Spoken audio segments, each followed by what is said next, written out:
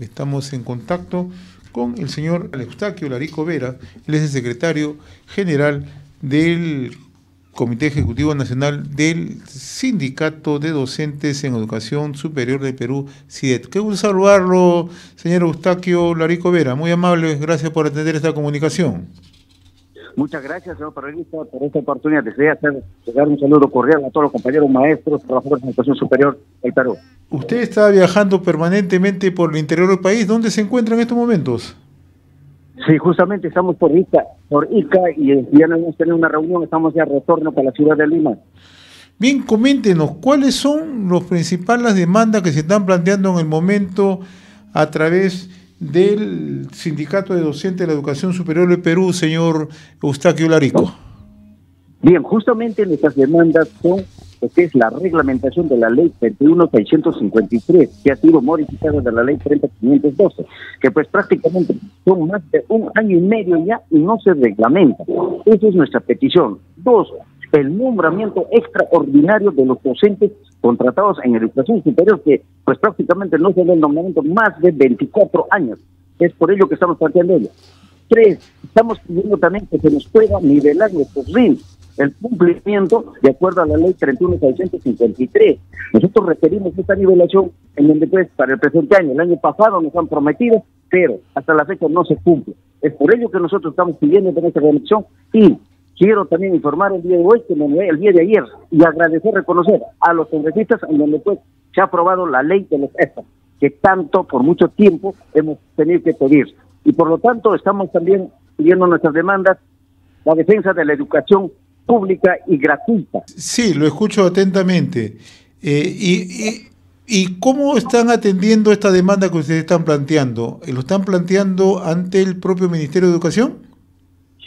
Si justamente como nuestra entidad empleadora a través del Ministerio de Educación se tiene que viabilizar. Y desde ya también hay observaciones que observa el Ministerio de Economía y Finanzas, por lo tanto pedimos al ministro de Economía y Finanzas a que ya se pueda viabilizar, porque en una reunión última que hemos tenido mesa técnica, Ministerio de Educación con Ministerio de Economía y Finanzas, en donde se ha acordado que la siguiente semana tienen que consensuar para así de esta forma poder viabilizar ya relacionado a nuestro reglamento y de igual forma también a nuestras RIMS y los nombramientos extraordinarios de los docentes contratados.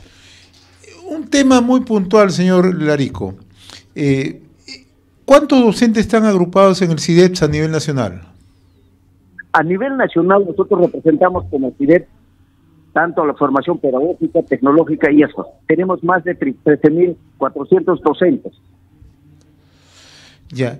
Y en cuanto a la escala salarial, ¿estos son equiparados respecto a otras instituciones superiores o ustedes están por debajo de esta escala?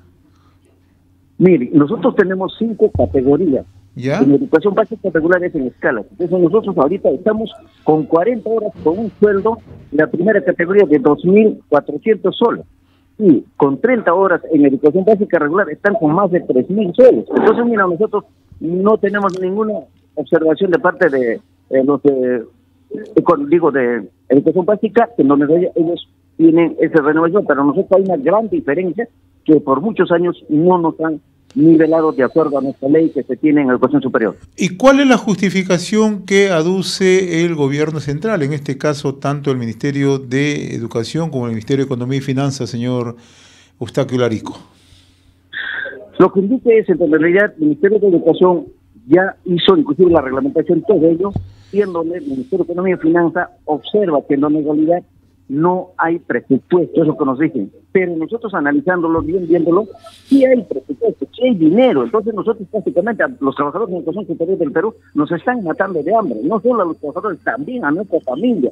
Es por ello que invocamos a través de la presidenta de la República, a través de los ministros, a que se pueda ya reglamentar nuestra ley, la, la 31653, modificada la ley 30512, para así de esta forma ya viabilizar lo que lo que son los nombramientos extraordinarios lo que son la nivelación de los RIS y de igual forma también lo que es la defensa y educación pública que se tiene. El otro aspecto que conviene, ¿este pliego lo están llevando de manera regular o es que siempre tienen los problemas que confrontan otros gremios?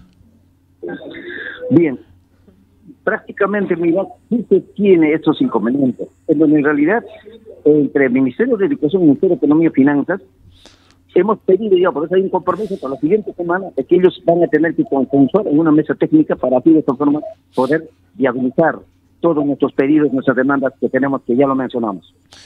y el otro tema que también es interesante eh, conocerlo, ¿no? Eh, ustedes están en distintos puntos del territorio nacional. ¿De qué manera informan a su base? ¿De qué manera ustedes llegan para darle a conocer toda la información de los acuerdos o los alcances a los que se llega? Bien, justamente nosotros lo que informamos es a través de los grupos de WhatsApp y a través de las redes sociales que tenemos. Y de tal manera también a ese nivel nos reunimos a nivel nacional con los dirigentes regionales.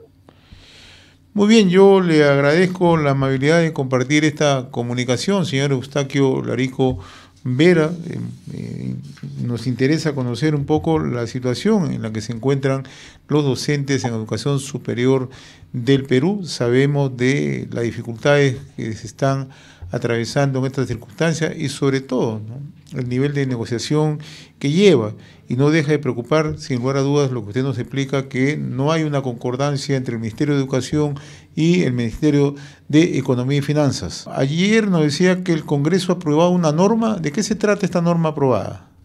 De la ley de los ESPAS, en donde ellos de educación superior no estaban incluidos en la ley 30512, así como es de los institutos tecnológicos y pedagógicos.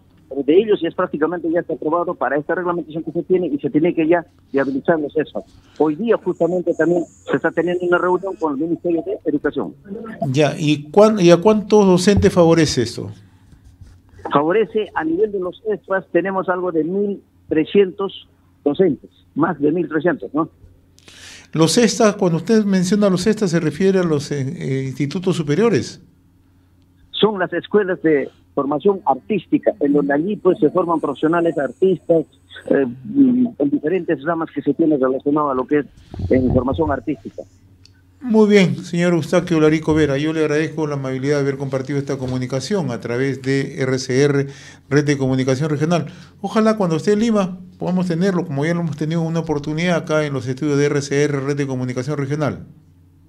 Gracias, muchas gracias, muy amable por esta atención que nos ha brindado. Estoy muy agradecido y desde ya pues permítame invocar a todos los maestros y maestras a nivel del Perú para que podamos ya prepararnos y organizarnos en vista de que no se viabilice nuestras demandas que se está pidiendo, que se está peticionando, ya sea la reglamentación, nivelación de las RIMS, nombramiento extraordinario de los docentes, pues prácticamente estaremos entrando a una movilización para así de esa forma poder hacer escuchar nuestro pedido, porque por más de 39 años educación superior ha estado abandonada y por lo tanto pedimos a nuestras autoridades que nos escuchen, por favor, que nos apoyen porque hay mucho maltratar, mucho maltrato. Para ello, mañana, compañeros y compañeros, pedimos a organizarnos a nuestras bases y desde ya continuar en nuestras medidas de lucha. Ha sido un gusto conversar con usted, señor Eustaquio Larico Vera, directamente desde ICA. Usted es el secretario general del Comité Ejecutivo Nacional del Sindicato de Docentes en Educación Superior de Perú. Muy agradecido. Saludos. Buen día, muchas gracias, señor Fuerte abrazo.